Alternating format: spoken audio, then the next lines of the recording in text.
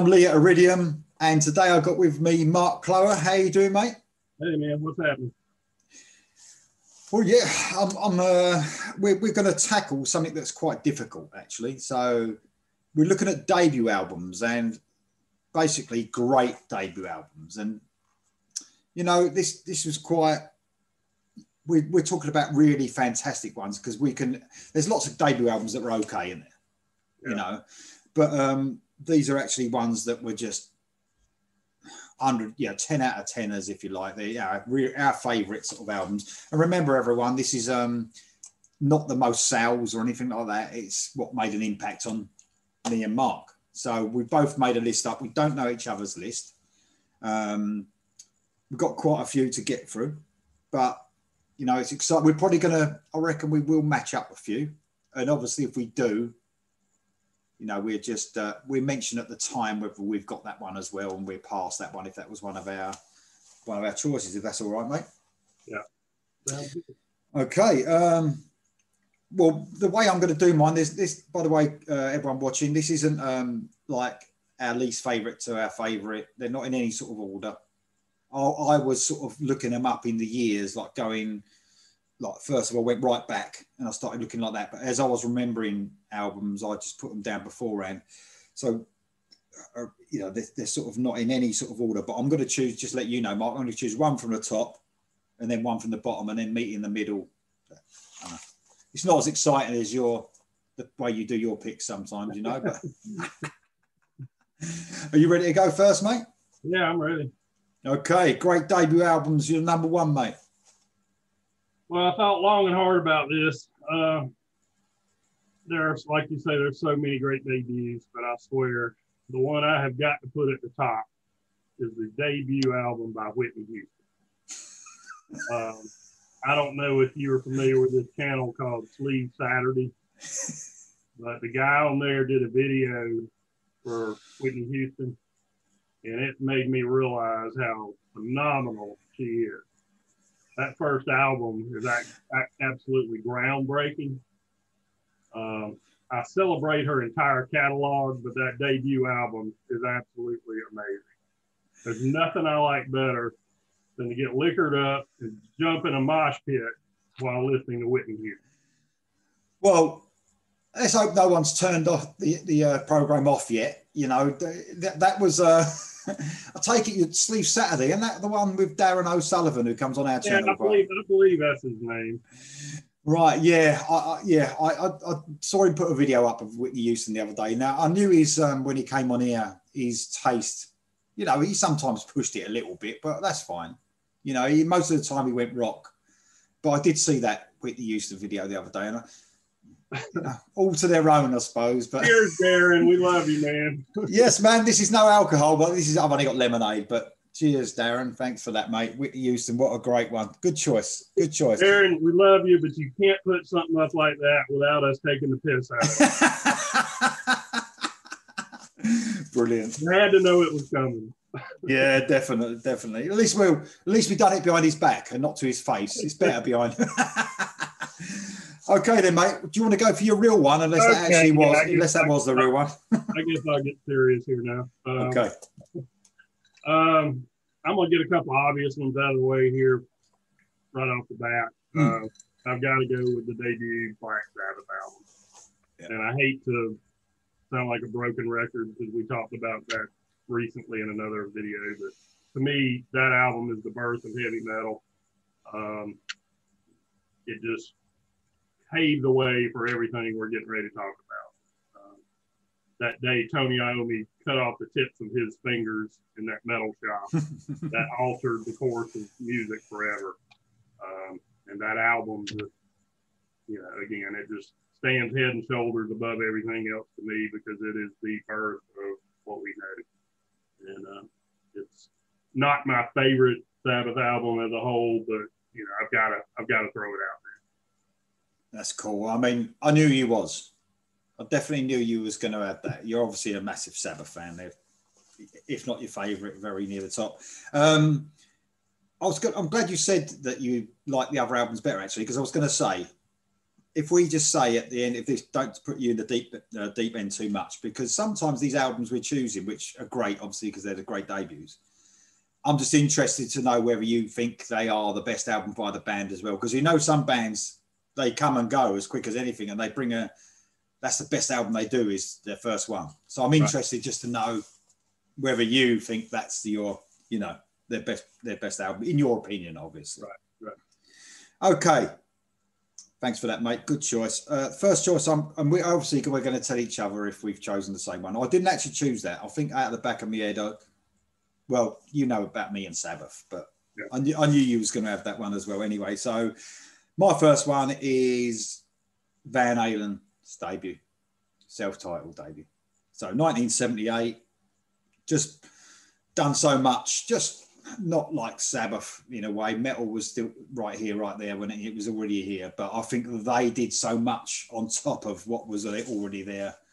Um, late 70s, and I think they paved the way as well. What was to come in the 80s?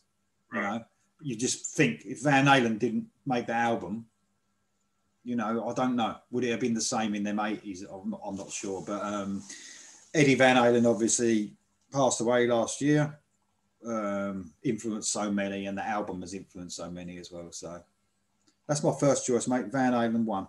Yeah, they were definitely pioneers in that style of hard rock. Uh, like you said, I doubt we'd have had, you know, the the guitar shredders that we know now that probably would never have, yeah, started playing in that style had it not been for Eddie Van Halen in that first that first album. I mean, you know, let's be honest, they again, they they kind of took the the genre to a different yeah in a different direction, I guess is what I'm trying to say. But they created a whole new form or style of what we know as heavy metal or hard rock. And uh, ironically, you probably know this, but they they toured with Sabbath in '78, I think it was. Yeah.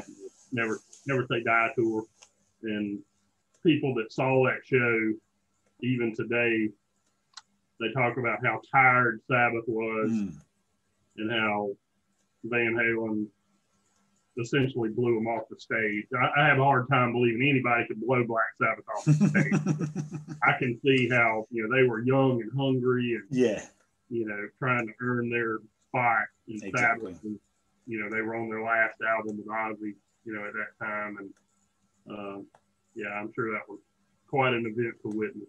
The the old guard kind of going out and the new guard kind of coming in and taking over. Definitely. Um, as far as the best album is concerned, I mean, it might be a bit controversial this because certain albums Van Halen's play a massive part in my life through the 80s. Yeah. Especially what age I was, and a lot of that depends. So that one, I can't really decide between that one and 1984 because you know I was 14 years old. That album was just amazing, and I actually went back because in 1978 I was only eight then so I don't think I heard that album for a few years. So 1984 was one of the first Van Halen albums that came my way. So them two albums are very close. I can't really decide which one I'll pick. I'd have to go through each track separately to really figure that one out. But um, yeah, I love that 1984 as well. So there you go, mate. Okay. All right, my second one again. I've got to get an obvious one out of the way. You know how big a Kiss fan I am. Mm. Uh, the Kiss debut album, um, I was too young to buy this when it first came out.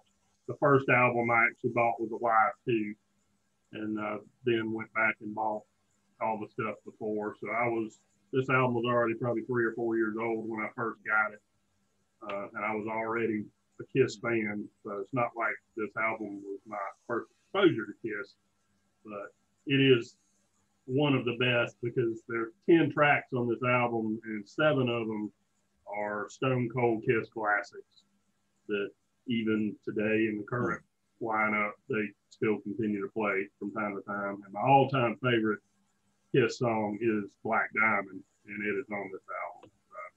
Uh, this album, even though I didn't hear it when it first came out, this album changed my life because this band changed my life. Yeah. Um, so I've got to got to throw it in there at the top or toward the top. Great one, man. Well, I knew I sort of had a feeling, you know, it's hard when someone's actually one of your favourite bands. You know, there are some favourite bands of mine that have brought out terrible debuts, but you know, they're not obviously on this list. But um, okay, well, I did say I was going to go top and then bottoms. I am, and it's a bit of a weird way this has worked out because this was a late comer to my list. I only thought of this yesterday, and I love this album, and I think it's got so much energy again. And this is when a, a singer or any sort of member of a band splits up from the band and they go and make a debut and they just kick ass on it because they just like, you know what I mean? They're sort of like want to shove it in the other band's face, if you know what I mean. So Dave Lee Roth, Eat 'em and Smile. I, I just love it, man. And it, it's just with Steve Vai obviously on guitar. And I, it just was such a huge album for me growing up again. And I just think it gave me everything I wanted from a Van Halen album, if you know what I mean. Now that they went with the 5150 album, which weren't bad, but I miss the old Van Halen, you know. and um, I just I just think that's a great album. That is literally like David Roth saying, you know what I mean? I'm gonna really kick ass on this album, and he did. He never matched it again. It's definitely Miles. Even the Skyscraper album was nothing compared to Eat 'em and Smile. It's so much energy, and it really rocks out. Had a lot of sense of humour, as you know as right. David Roth does. But um, his vocals were great at the time. You know what I mean? He never had the best, but it was quite strong for what it was. So really fun videos, man. I mean, that Yankee Rose video with his ass hanging out was just ridiculous. but, but funny, but really funny. But, I, can't, um, I can't imagine Sammy Hagar doing that. Uh, no, no. That's fine. I mean, I, I, do joke a little bit about that 5150 when he tried his little bit of David Roth at the beginning of the album, you know, hello, baby. And I was just like, you know, I mean, stick to what you know. Don't try and emulate that sense of humor that David Roth had because it just won't work. Although he's got a brilliant voice, obviously. But anyway, that is the, my favorite album of David Roth, man. So that's it. Your turn. All right, up next, I may be stealing one of yours, but. Uh, Tesla, Mechanical Resonance. Um, absolutely love that album. Um, I think I told you I saw Def Leppard twice in '87, and Tesla opened the show on that tour. I saw him here in Columbia and then up in Charlotte, North Carolina on that same tour. And uh, Tesla was a really hard act for even Def Leppard at their you know, what some would consider their peak mm-hmm. to follow it. Uh, I just absolutely love this album. They nothing else in the Tesla catalog registers with me like this album does. So I would definitely say this is. I'm not going to say it's the best, but it's definitely my favorite of the Tesla albums. Um, to this day, I still listen to it very regularly. Modern day cowboy is just still gives me shivers when I hear it. I, I, remember the first time I heard it after school one day, a guy had brought the cassette to school and we listened to it in his car. And uh, I was hooked from that, from that point on. And that's one of them in it. Every track, every yeah. single track is just brilliant. Yeah. I did actually do a, a Tesla ranking and that came the top, but I, actually, as because you know how I do my rankings, I, I'll tr- rank every track and then I'll divide it by the amount of tracks, and then it. But I must admit, the next two albums came close. You know, the first three albums for me were just amazing albums, but that first one still came top. I think it's because there's no weakness, no weakness whatsoever. Yeah, it's definitely on my list anyway, mate. I, well done, that, yeah. Okay, so I might not be going for everyone's favourite band who actually watch this channel, but I can't deny the greatness greatness of this album, and that's the Pearl Jam debut 10. So I know it's a bit grungy, but it was a that's such a strong album, man, and it's really rock and roll, really. I mean, they are in them early stages. They were very. I know that lyrically, probably, you know, it was a bit depressing, but the actual music was rock and roll, you know, and on that album especially, I think the guitar work was brilliant, and then they could never match it again. You know, it was it, it, was lead guitar, which you didn't get in grunge a lot. Sometimes did you? Sometimes in grunge, it was just all about rhythm guitar and just yeah. you know, I'm talking Nirvana here, you know that that sort of shit. But um, Pearl Jam 10, man, it's it's a great album, and that's that's my only grunge choice if you could call it grunge, but it's definitely their best they've never managed to match that, in my opinion. So, so I won't chastise you like Darren would if he was here, but uh, I, I, was never a, a grunge fan. Uh, I was glad when that fad kind of yeah. It's really weird. I, have I've got into those new sort of genres as I was growing up. And obviously, I was still young. I was only like 20, just in the early 20s when it started coming around the grunge stuff. Yeah. But, and even the new metal stuff, some of that I did get into. But it's funny, in it? Because now it doesn't really do. I don't listen to it at all. It doesn't. Only the only band I actually listen to out of all them from the from the uh, 1990s, you know, all them sort of bands up to the new metal. The only bands I actually listen to are Alice in Chains. They're the only ones I listen to. Yeah. And a lot of people would say that's their metal. You know what I mean? So it's probably why I listen to them more than anything. So they're the only band that stuck with me all them years. Yeah, I never, I never really considered them grunge as far as Pearl Jam, Soundgarden, mm. uh, kind of grunge. Mm. Uh, that facelift album, I mean, that was pretty metallic any way you look yeah. at it. Yeah, definitely. I like I like a, a, good bit of the early Alice in Chains, Man in the Box, especially. Mm. I mean, that was that was pure metal. You know. That's, yeah. That's I agree. I agree. Yeah. Anyway, that's my grunge pick. you know what? It, it's funny though because a lot of that stuff you're talking about, you don't listen to a lot of that anymore. That that shows how strong classic metal really is. Yeah. Because even some of this older stuff we're talking about still sounds. I don't want to say it sounds fresh, but it holds up very well. Yeah. Even in, you know, 2021. Hmm. Whereas a lot of the grunge and new metal stuff just it just that does not hold up well. Well, you know what? I think uh, that new metal sound, though, is still around now, definitely. Oh, yeah. You know, yeah. people try and suggest bands to me, and they've still got that new metal sound to me. And, uh, you know, I'm not, I'm thinking of bands like, you know, I've never got into them, and that's like Five Finger Death Punch. Right. You know, Disturbed. I've never got into them because I they have got to me for me that new metal type sound in them and I, I, just can't get into it. It's just just me, I suppose. I don't know. Anyway, everyone's going mad now because of people that have suggested the bands to me. anyway, mate, down to you. Okay, uh, I'm gonna go all the way back to the very first Lizzy Borden album, "Love You to Pieces." Um, I love Lizzy Borden. Yeah, They're, I do. I do, man. I, they're not well known even now. As long as they've been around, they had a you know a little splash back in the late '80s when mm. Visualize came out. But this album just is so I don't want to say crude, but it wasn't a very polished album like Visualize was. But this this album was my first exposure to, to Lizzy Borden, I just always loved them. They they were kind of a shock rock you know, kind of band as far as the theatrics. But yeah, you know, they were they were very good musically as well. You know, yeah, yeah. I, I still still love them to this day. Is that your favorite?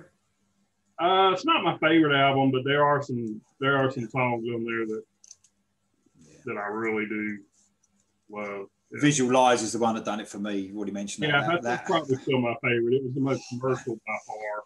That's a brilliant. You know, they actually made it on the MTV, which is kind of shocking to think back that Lizzy Borden was actually played on MTV. But, yeah. Uh, yeah. It's a great choice, man. Though was, I love Lizzy Borden, man.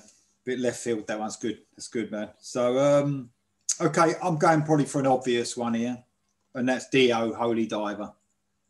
You know, known as one of the great debuts of all time. Man, uh, the, everything about this album. He, yet again, this is a just after a split up, in it. Yeah. You know, Black Sabbath, and he's gone and kicked ass with so much energy, so much. Vivian Campbell on this album is, I mean, you, you try and not many people can match Dio's voice, you know, and like be the highlight of an album, but he's right there with Dio on this. Um, right. Vivian Campbell, man, and well, everyone in the band, but I just wish there was a little bit more bass. That's the only thing on that album. You know, what I mean, I love that Sabbath bass sound on that, on those two albums, on um, Heaven and Hell and Mob Rules. I just wish the bass was ramped up a tiny bit more, but that's just a, you know, maybe, maybe it wouldn't have had that energy if it did. Yeah. You know, it sometimes takes the energy away, doesn't it, if it's too bassy. But um, great album, man. I, I don't know what else you say about Holy Diver. It's just known as a classic, and I totally agree with that.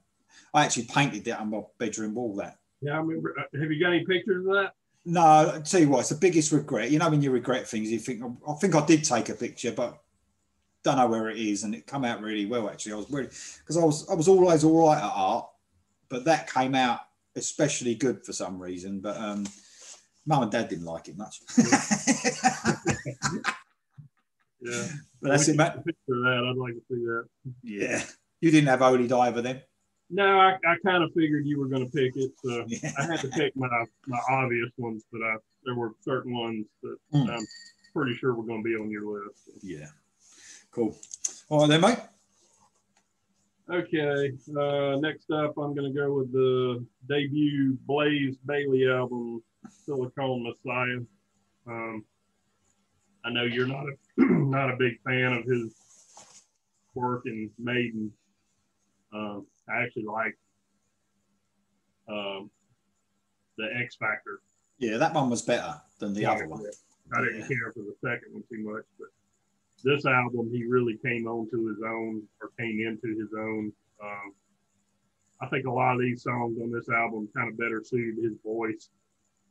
Um, it's still kind of strange to think that they went from somebody like Bruce Dickinson to Blaze Bayley, Yeah. and then when they switched singers because they were so different. You know, a lot of bands, Queensryche, for example, pick somebody that sounds almost exactly like the original. Yeah. It's like Maiden went in a totally different direction Yeah. uh, from that air raid siren to that deep baritone kind of voice. And, Yeah. You know, unfortunately, his voice didn't work too well with a lot of the, the Mm. Dickinson era stuff. But for stuff that was written for him, I think he was actually a, a pretty good singer. And uh, this album, actually, when I first heard it, you know, I was like, okay, this is probably the material that Blaze ought to be Yeah. singing, you know, from the get go because it's better suited to his style of voice. There's just some, some really good songs on that album. Uh, I've bought every solo album he's done, and that debut is definitely my favorite of all his. It's a bit weird that choice from Maiden, isn't it? Where they could have anyone in the world. You know, they they probably could have had Michael Kiske of Helloween. That would have been the like, the closest Yeah, thing they could have got to Dickinson. But obviously they want to go a different direction. But you know the guy's going to have to sing it live and all, don't you? You know what I mean? So a bit of a weird one, but there you go. Great choice though, mate.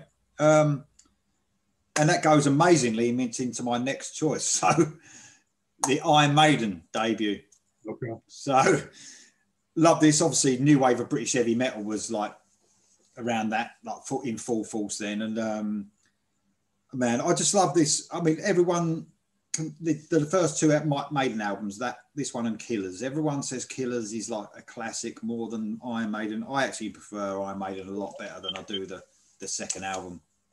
Yeah. Um, I agree with you. yeah, I, I haven't got a problem with the production either. I, I, I quite like it. It's nice and clear. And for 1980, you know, I mean, I know Steve Harris has got a problem with the production, said it's just not up to scratch. I quite like it. I actually really like the production.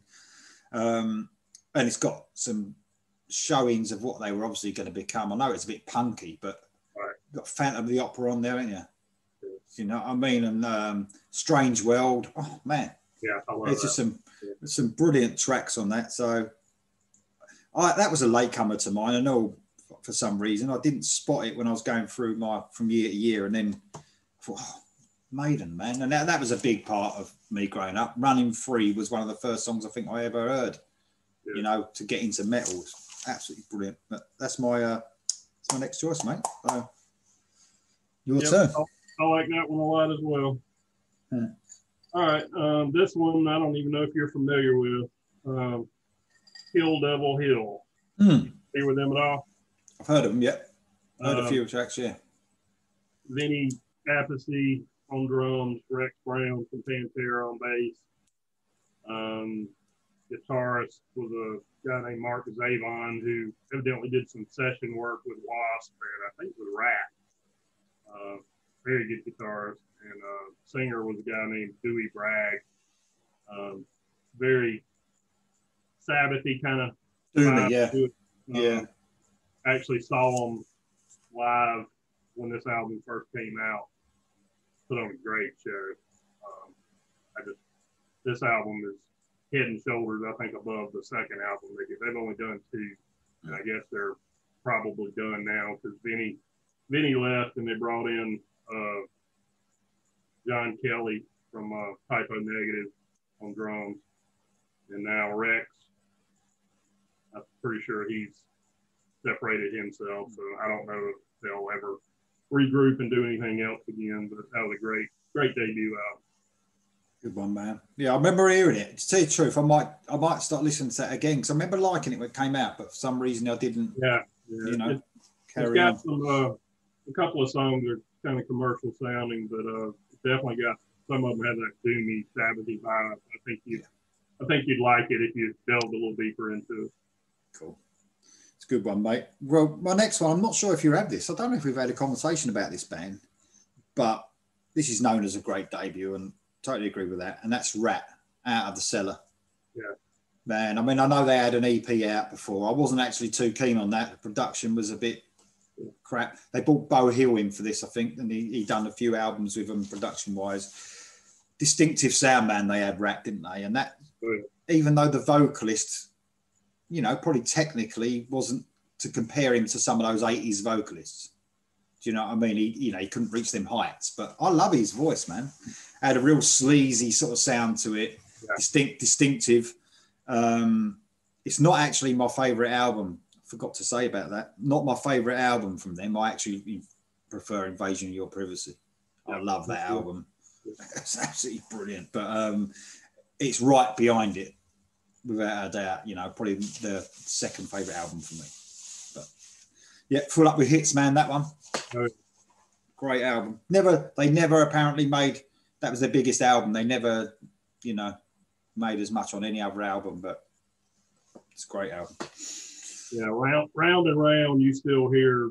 Mm. Anytime you turn the radio on, you're still yeah liable to hear that. And it's even recently appeared in a advert, wasn't it? Uh, yeah, guy, I think it's Geico insurance commercial. if you've seen that one, but yeah, there. That's definitely their trademark song. Yeah, it's a great one, man. I love that album. Absolutely love it. Okay. Did you have that one? No, I did not. I did not. okay. All right. Um, the debut album by Demons and Wizards. Um, unfortunately, like Iced Earth, Demons and Wizards is done now uh, because of the recent events involving Jon Schaffer. Hansi, the singer, has officially pulled the plug on the Demons and Wizards project. Unfortunately, there won't be any more. They've done three albums so far, and that first album um, definitely have a, has a Iced Earth vibe because of Jon Schaffer's just amazing rhythm guitar yeah. playing. Yeah. Um, that album so atmospheric. Uh, absolutely love it yeah, I mean it's it is well known as their. I have been reading some stuff about it as their best album, you know, compared to the others. But um, it's a shame, man. It's another band that's gone. But look, bands do the amount of bands we we both listen to that have gone for other reasons. Yeah, you know, I'm gutted about it all, but you know, Jon Schaffer's the only original member anyway. Yeah. so you know, yeah. if if if it's like, you know if he manages to don't know. Not serve any time, he might come back quite quickly with another band. You don't know, do you? Yeah. hopefully, uh, hopefully.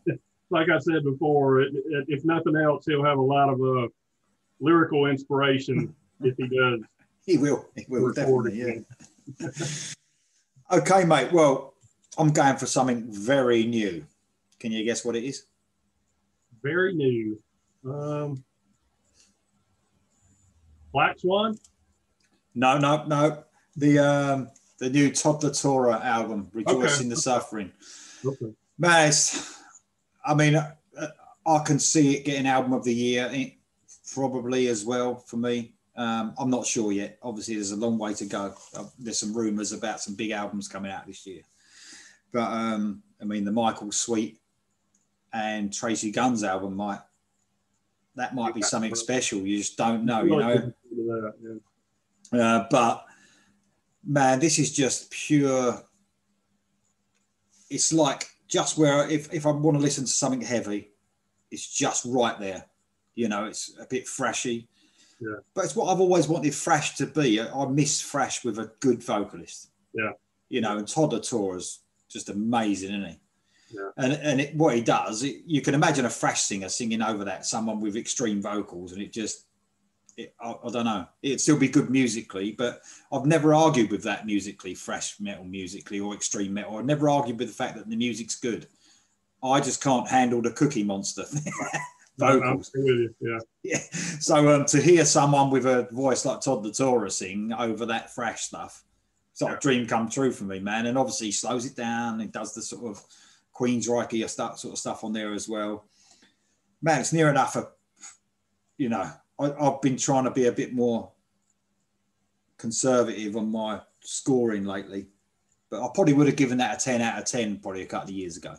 But where I'm trying to be more picky, it didn't quite make it. But what an amazing album!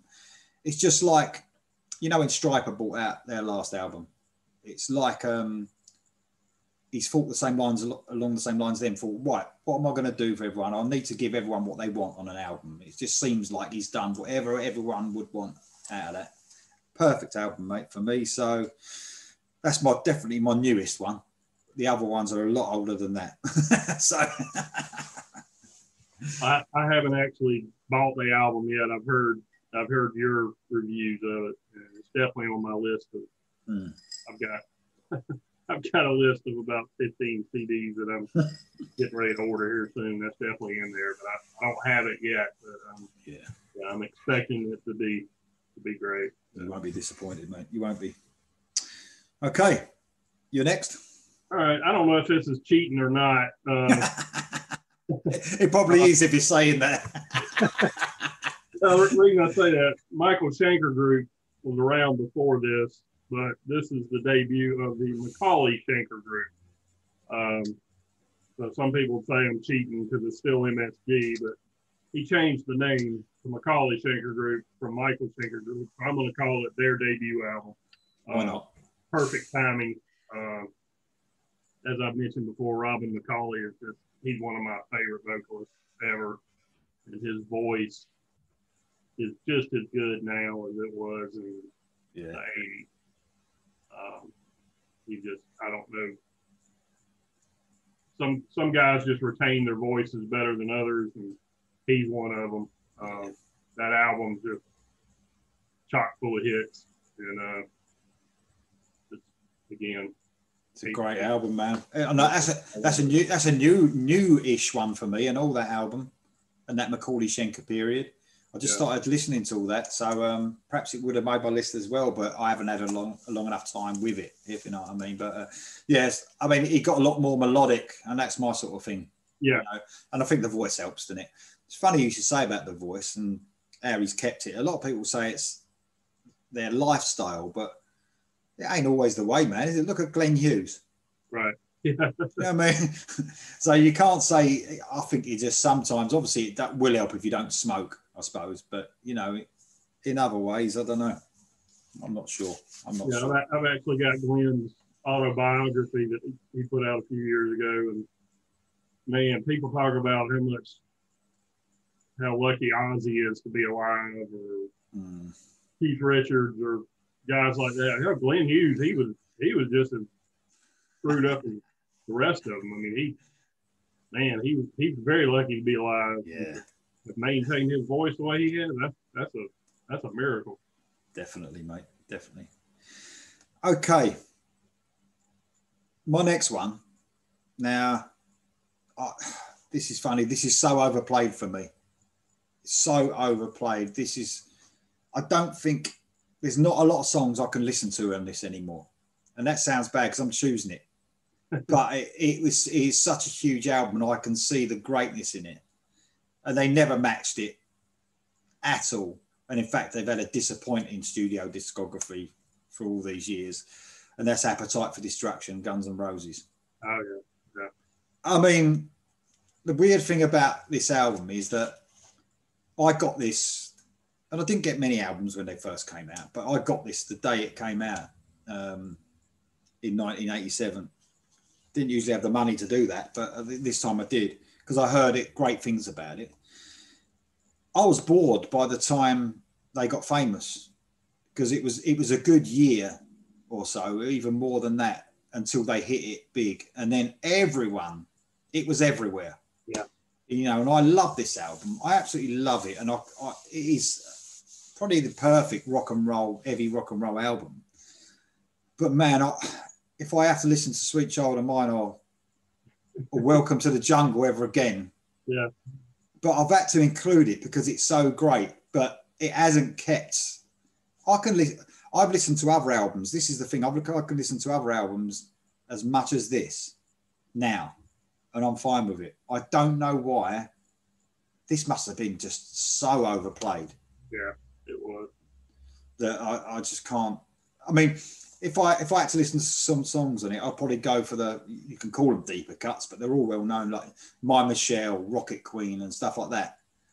But you know, Welcome to the Jungle and Sweet Child of Mine, man. If I have to, Paradise City, Paradise City. Oh, you know, I, I, I think I did, didn't do myself any favors, and I was playing that for a year constantly, and then everyone was like, "Have you heard this band, Guns N' Roses?" Oh fuck, yes, I have. Been fucking listening to them for the last year but um, yeah, but a great. You can't deny the greatness of the album, and it, it was so.